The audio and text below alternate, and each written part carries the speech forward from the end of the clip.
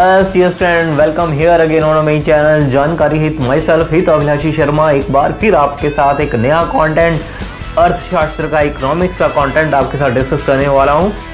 Change in demand मांग में परिवर्तन। आप सोचोगे ये क्या है? यस जानना चाहते हो ना? तो शुरू से एंड तक इसी वीडियो को देखें और इस टॉपिक को बिल्कुल आसान बनाते हैं। Let's move head with me with me with this content that is change in demand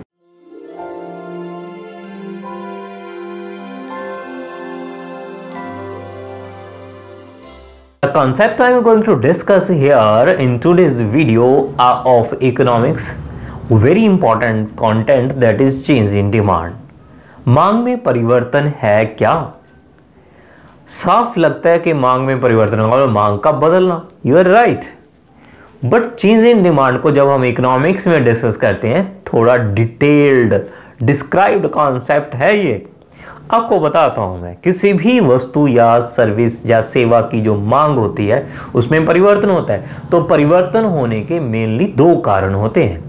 एक तो होता है प्राइस एक होता है other than price other factors तो आज चेंज इन डिमांड को हम दोनों पहलुओं से डिस्कस करेंगे। Change in demand due to price and change in demand due to other factors आपको पता होगा कि मांग को सिर्फ़ वस्तु की कीमत, उसका प्राइस इफ़ेक्ट नहीं करता।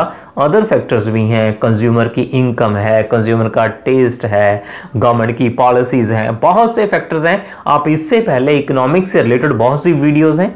उनको देखकर जान सकते हो जो डिमांड से रिलेटेड है। आप जानते भी होंगे कि अदर फैक्टर भी डिमांड को इफ़ेक्ट करते हैं। आपको एक बात और बताता हूँ। बड़ी इंटरेस्टिंग जब हम चेंज इन डिमांड को डिस्कस करेंगे, इसमें एक कॉन्सेप्ट आएगा। मूवमेंट अलोंग डिमांड कर्व इसका मतलब क्या होता है कि डिमांड कर्व के साथ साथ चलना है हमने। जैसे लॉ ऑफ़ डिमांड में डिस्कस करते हैं कि डिमांड कर्व नेगेटिव कर्व बनती है just see this from A to B या बी टू ए ये जो अगर शिफ्टिंग एक पॉइंट से दूसरे पॉइंट पर डिमांड कर्व जो बनी हुई है, उस पर जाते हैं, इसको मूवमेंट अलोंग डिमांड कर्व कहते हैं।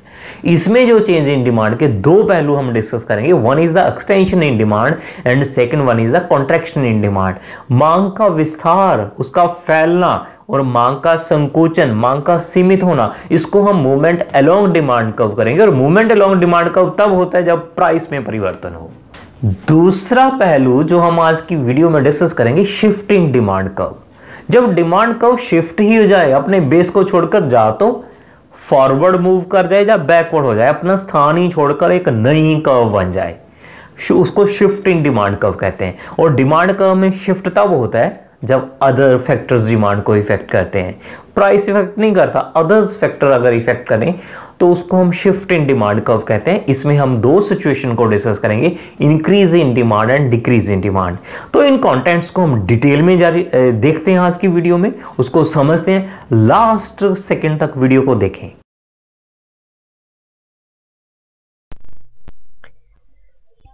यस स्टूडेंट तो आज का जो टॉपिक मैंने जैसे आपको बताया था, वो शुरू करते हैं। चेंज इन डिमांड उसको क्या है? चेंज इन डिमांड मांग में परिवर्तन।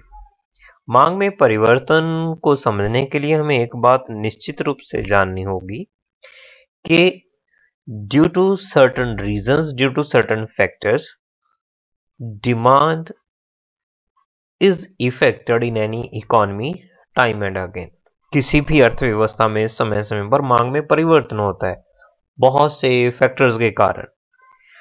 उन्हीं को समझने के लिए चेंज इन डिमांड के कॉन्सेप्ट को अगर हमने जानना है तो हम डिटेल में बात करते हैं इस बारे में। सबसे पहले factors effecting demand can be classified into two parts जो फैक्टर्स डिमांड को इफ़ेक्ट करते हैं, उस पर प्रभाव डालते हैं अपना। उनको दो भागों में बांटकर हम देख सकते हैं। सबसे पहले change in demand due to change in price price के कारण, वस्तु की कीमत के कारण, मूल्य के कारण वस्तु की डिमांड में चेंज आता है। ये जैसे हमने लॉ ऑफ़ डिमांड में भी स्टडी किया, उससे रिलेटेड वीडियो ऑलरेडी मेरे इस चैनल पर है। तो डिमांड के कारण जो चेंज आता है प्राइस में, उसमें एक बात हम सीखेंगे आज की वीडियो में। उस स्थिति को अगर हम ग्राफिकली पेश करते हैं डिमांड कर्व बना के, उस स्थिति को मूवमेंट अलोंग डिमांड कर्व कहते हैं। मांग, वक्र पर परिवर्तन, मांग वक्र के ऊपर परिवर्तन, जो भी चेंज होगा, जो बनी हुई डिमांड कर्व है, उसके ऊपर ही होने वाला है। कब? जब डिमांड में चेंज हो वस्तु की कीमत के कारण प्राइस के कारण। दूसरा पार्ट अब इसको देखते हैं, जो राइट हैंड साइड पे देखो बॉक्स बना हुआ है change in demand due to change in factors other than price भाई, वस्तुओं की मांग को सिर्फ़ प्राइस प्रभावित नहीं करता, दूसरे फैक्टर्स भी हैं फ़ैशन है इनकम है, बहुत से हैं, वो हम आगे बात करते हैं। तो उसके कारण जो चेंज होता है, जब उसको ग्राफिकली दिखाते हैं तो उस स्थिति में मूवमेंट अलोंग डिमांड कर्व नहीं होती जैसे प्राइस में हुआ था, तब होता है shift in demand curve demand curve shift कर जाती है अभी। नई डिमांड कर्व बन जाती है। कैसे बनती है? आओ, सारा कुछ तो आज हम डिस्कस करने वाले हैं और बहुत आसान बनाने वाले सबसे पहले हम बात करते हैं change in demand due to change in price जिसको हम स्थिति को मैंने बताया कि मूवमेंट से अलॉन्ग डिमांड कर्व अगर हम उसको ग्राफ में दिखाएँ तो जो भी परिवर्तन होगा, वो बनी हुई मांग वक्र के ऊपर ही होगा। ये ध्यान रखना। When other factor remain the same change in demand due to change in price can be express on same demand curve with different point on same demand curve बार बार, वही बात बता रहा हूँ मैं। जब दूसरे फैक्टर्स जैसे इकोनॉमिक्स में मैंने बताया हुआ है बहुत से वीडियोस में, जब भी हम इकोनॉमिक्स का लॉ करते हैं when other things remain same जब दूसरे फैक्टर जो हैं वो सेम रहे, उनमें परिवर्तन ना हो, और प्राइस में परिवर्तन के कारण जो डिमांड के अलग अलग पॉइंट्स बनते हैं, जो डिमांड बनती है अलग अलग जब उसको डिमांड का ऊपर दिखाते हैं तो सेम डिमांड का ऊपर डिफरेंट पॉइंट बनते हैं, ये ध्यान रखना। In such case there are two movements on demand curve उस पे जो जो डिफरेंट पॉइंट डिमांड करो पे बनेंगे, उनमें दो तरह की मूवमेंट्स देखने को मिलेंगे भी। दो तरह की मूवमेंट्स कौन कौन सी? वो बताता हूँ मैं आपको। इसी कारण इसको हम मूवमेंट्स अलोंग डिमांड कर्व कहते हैं, क्योंकि जो भी परिवर्तन होगा मांग वक्र जो बनी हुई है, उसी के ऊपर होगा। तो इसमें जो दो मैं मूवमेंट्स की बात कर रहा था, पहली मूवमेंट है एक्सटेंशन इन डिमांड मांग में विस्तार। पंजाबी कहते ने जी, मांग विच वादा। यस कॉन्ट्रेक्शन इन डिमांड मांग में संकुचन जो दूसरा परिवर्तन देखने को मिलता है। मांग का संकुचित हो जाना, छोटा हो जाना, कम हो जाना, कैसे? आओ डिस्कस करें इसके बारे में। सबसे पहले मैं बात कर रहा हूँ एक्सटेंशन इन डिमांड जब प्राइस में परिवर्तन हो तो मांग में जो एक्सटेंशन है, विस्तार किस स्थिति को कहते हैं?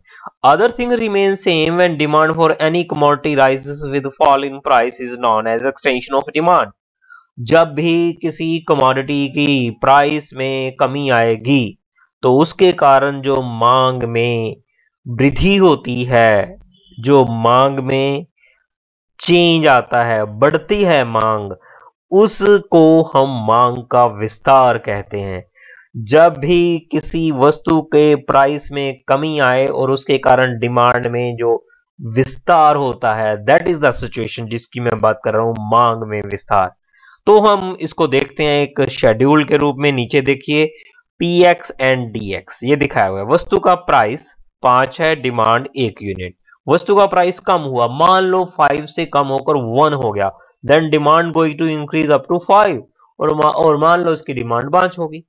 डिमांड बढ़ी। क्यों बढ़ी? क्योंकि प्राइस कम हुआ। That is a situation of extension of demand इसी को तो मांग का विस्तार कहते हैं। इसको हम चित्र में देखते हैं। ध्यान से देखिए ओ वाई एक्स पर पी एक्स वस्तु का प्राइस और ओ एक्स एक्सिस पर डिमांड ऑफ़ एक्स एक्स क्या है? कोई भी वस्तु हो सकती है। उसकी कीमत कितनी है? सबसे पहले मैंने जैसे शेड्यूल में आपको दिखाया था, मान लो वस्तु का प्राइस पाँच है डिमांड एक। तो क्या हुआ? प्राइस पाँच, जो डिमांड है एक जब इन दोनों के सीधे पॉइंट्स को हमने ग्राफिकली जैसे मिलाते हैं, उनको मिलाया तो हमारे पास जो पॉइंट ऑफ़ इंटरसेक्शन है, काटवा बिंदु ए आ गया।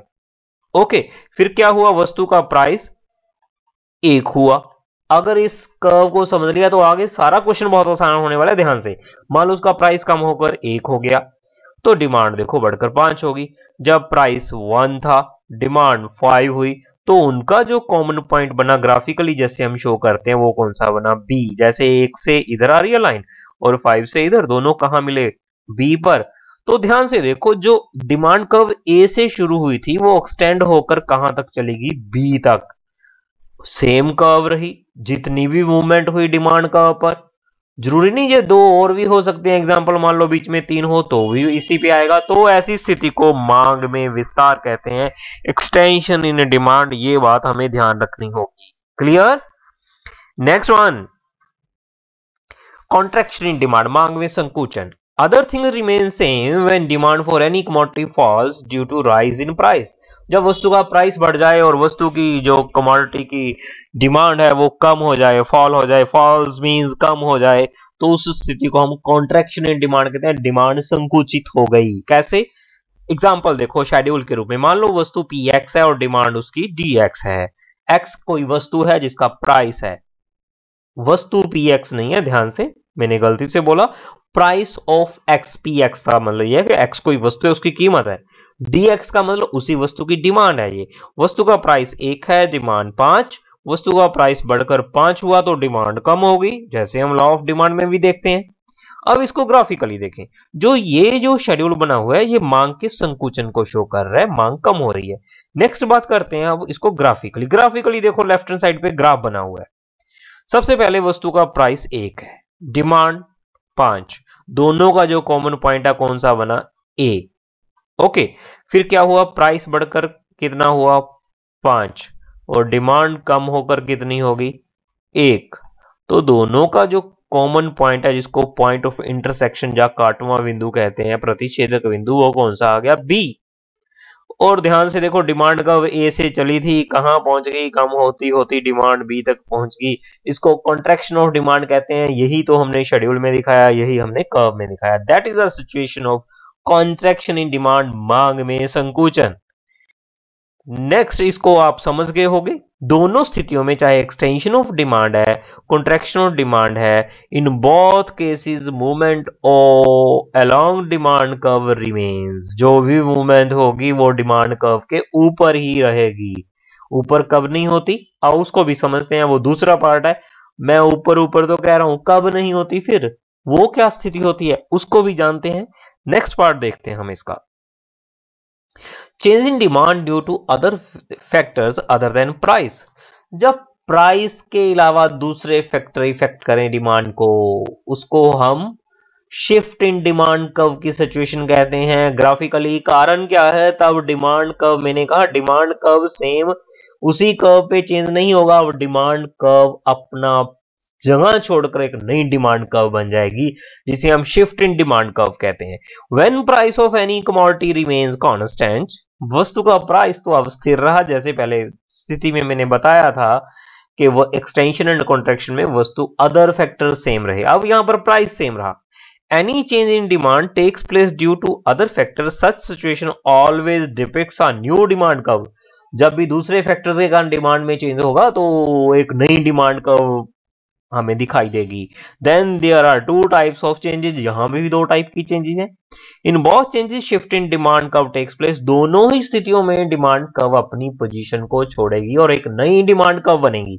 सेम डिमांड कव नहीं रहने वाली। जैसे पहले ए, मैंने एक्सटेंशन एंड कॉन्ट्रेक्शन में बताया। वहाँ सेम डिमांड कव थी? उसी पर मूवमेंट थी। अब नई डिमांड कव है? दो स्थितियाँ कौन सी है? Increase in demand and decrease in demand yes तो सबसे पहले एक बात बता दूँ, मैंने कहा अदर फैक्टर्स की बात की थी। इसके रिगार्डिंग मैंने कंप्लीट वीडियो डाली हुई है। इसी चैनल पर फैक्टर्स इफेक्टिंग डिमांड आप उसको देख सकते हो कि डिमांड को कौन कौन से फैक्टर्स प्रभावित करते हैं। डिमांड कम हो जाए ज़्यादा प्राइस के अलावा income of the consumer price of substitute goods change in size of consumer groups tax policy of government distribution of income price of complementary goods abnormal circumstances consumer preferences और बहुत से। Price के अलावा ये सारे factor भी demand को effect करते हैं। एक दो बताता हूँ, जैसे इनकम ऑफ़ कंज्यूमर कंज्यूमर की इनकम बढ़ी तो डिमांड बढ़ेगी, कम हुई तो डिमांड कम। ओके सरकार की पॉलिसी अगर सरकार ने टैक्स ज़्यादा लगा दी टैक्स पॉलिसी के कारण तो कीमत बढ़ जाएगी डिमांड कम। टैक्स कम किया किसी वस्तु पर, उसका प्राइस कम होगा डिमांड बढ़ जाएगी। ऐसे सारे के सारे ये फैक्टर्स हैं जो डिमांड को इफ़ेक्ट करते हैं अदर देन प्राइस की जब बात होती है। तो इन्हीं फैक्टर्स के कारण दो स्थितियाँ थी, जिसमें से पहली स्थिति की बात कर रहा हूँ मैं increase in demand increase in demand की स्थिति का मतलब क्या होता है?